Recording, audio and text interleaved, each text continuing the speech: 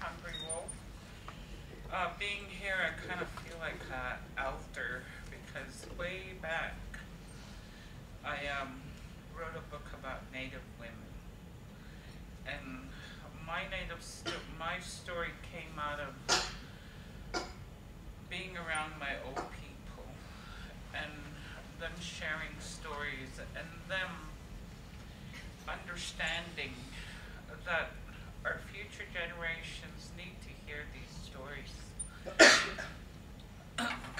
In my research, all the research that I've done, I um, came across an old wax recording of one of our great chiefs. His name is Mountain Chief.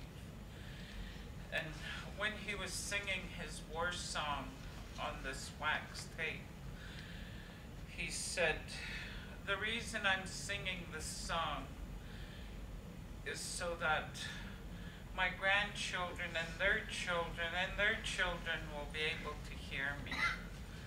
So it was very important for our people to pass that knowledge on.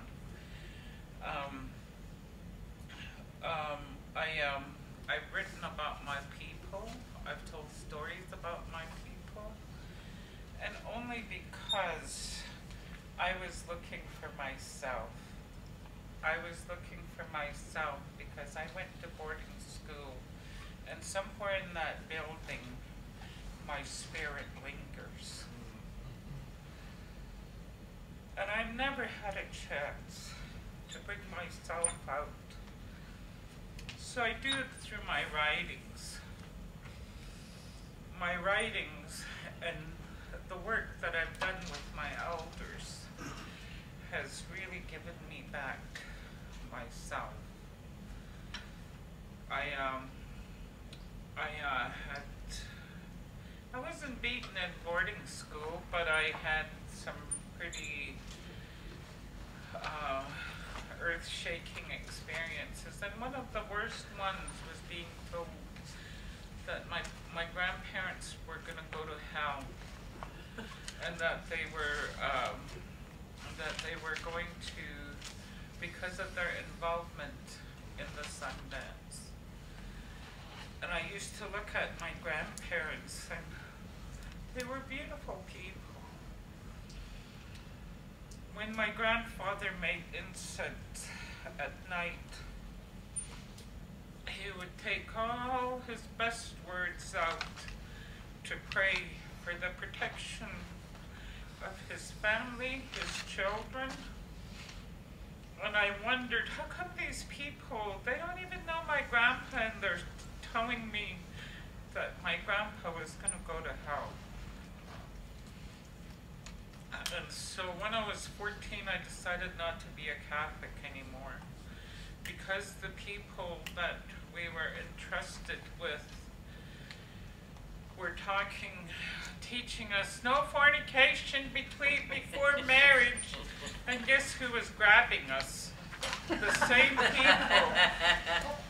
Every chance they got, they were groping us. We had to fight them off all the time, and yet every day they were saying, "Oh, you mustn't fornicate before you get married." You, you know, that's really awful stuff.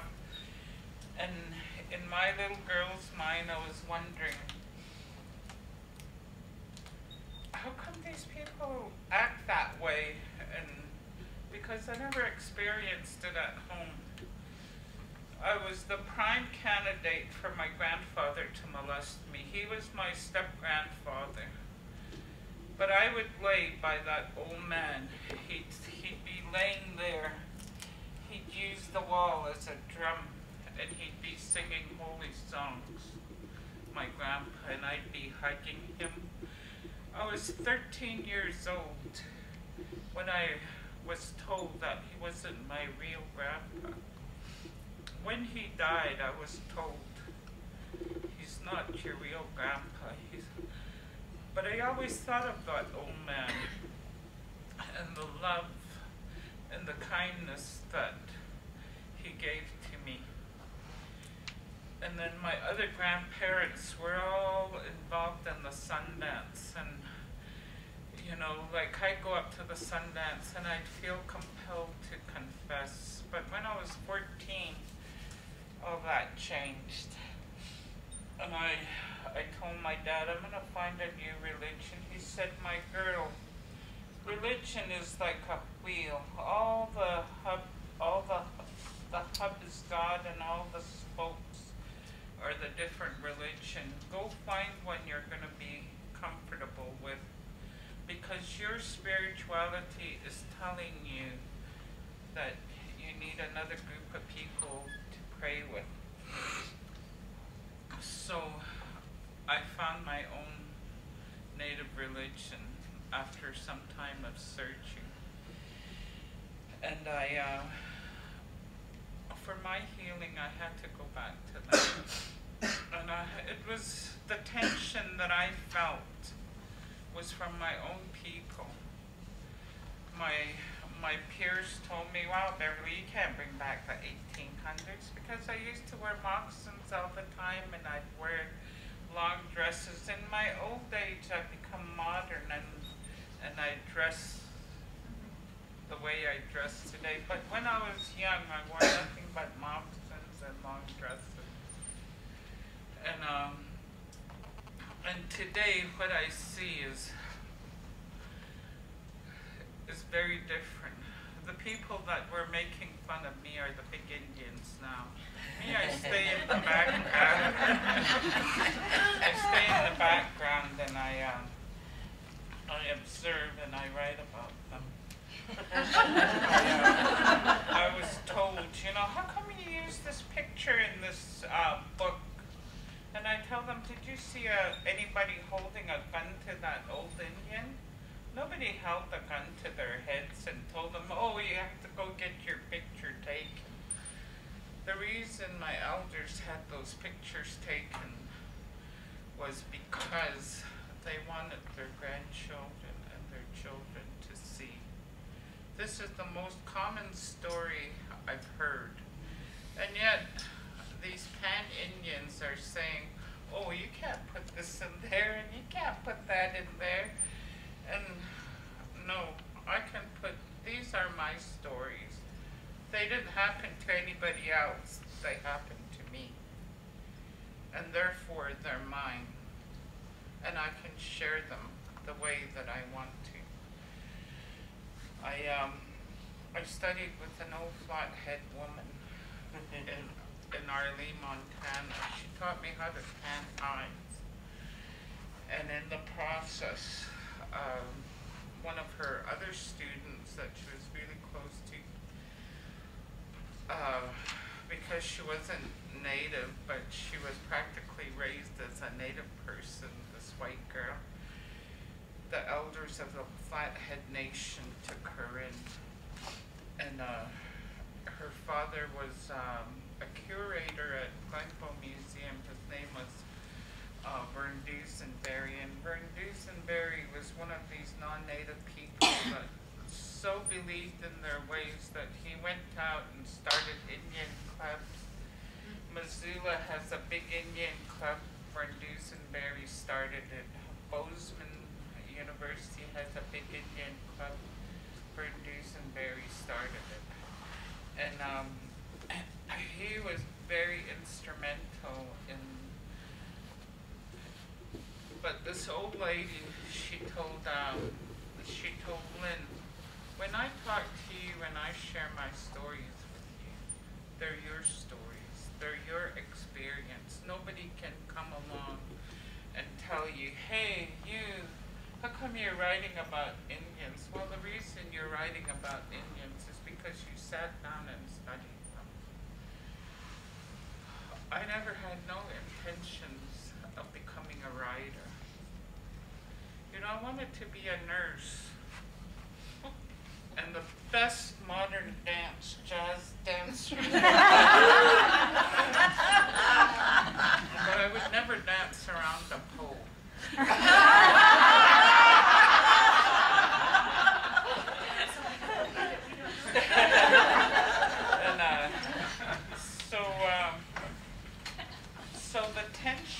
I feel I felt in my writing. I don't let it bother me in my old age because after you you become so old, if anybody talks to you, you just yeah.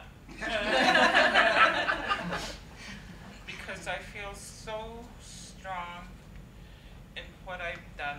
I can go anywhere. I don't need nobody's approval anymore. And on top of that, I had a grandfather that stressed to me all the time, women are holy. You're, you're the givers of life. So my girl, you're so special, you're a holy person. And so all these teachings that I got from them, you know, they're my teachings. I can, you know, I'll share what I, I can with you, but nobody can come to me and tell me, hey, how dare you put my grandmother's picture? Well, if you didn't want your grandmother's picture in there, then don't take her picture. You know, when she had that picture, you were you were you weren't even a twinkle in your dad's eye. so, you know, your grandmother chose to have her picture taken for a reason, and nobody held a gun to her head to get her picture taken. Our societies have had pictures taken of them. And the people, some of those old people I was around, and I asked them, know? He said, well, our grandkids need to see us. You know, this is our way to allow our grandkids to have some contact with us. I'm never going to see my great great grandchildren, but I have a means for them to see me. If I can get my voice recorded, I'll leave messages for them. So a lot of our old people have recordings that they keep in safe places. When they want to hear their relatives, they go back and listen to them. And if they want to share some of those stories, well, it's up to them.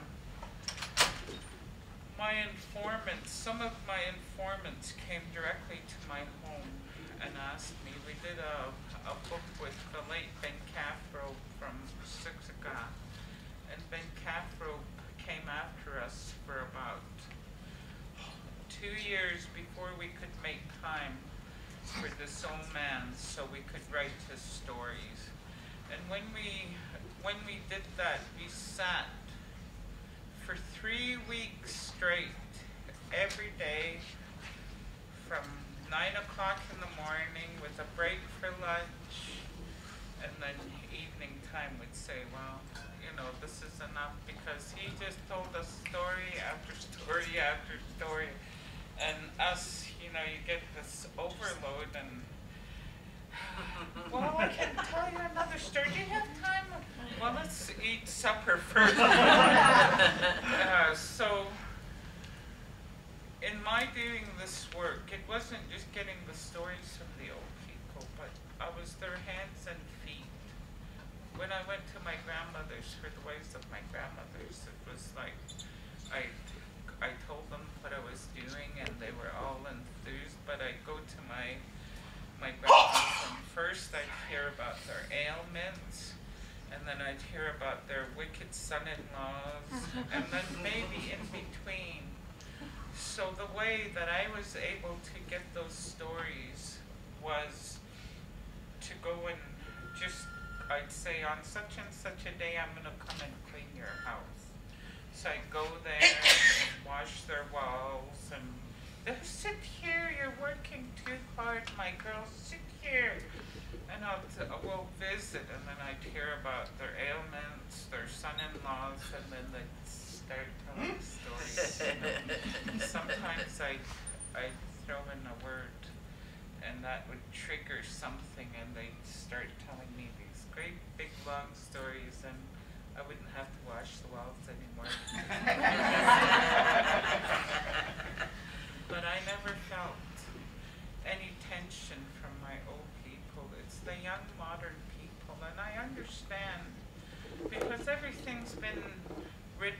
about everything's in museums, sometimes they get very angry. Well, why do we have to wear So that you can understand. So that you can take those words and say, oh, now I understand. Now I really got it. And if they want to learn further, then you go to the source. You go to the source and they, you learn about ceremonies, you learn about So, that's all I have to say. Did I say enough? Oh, yeah.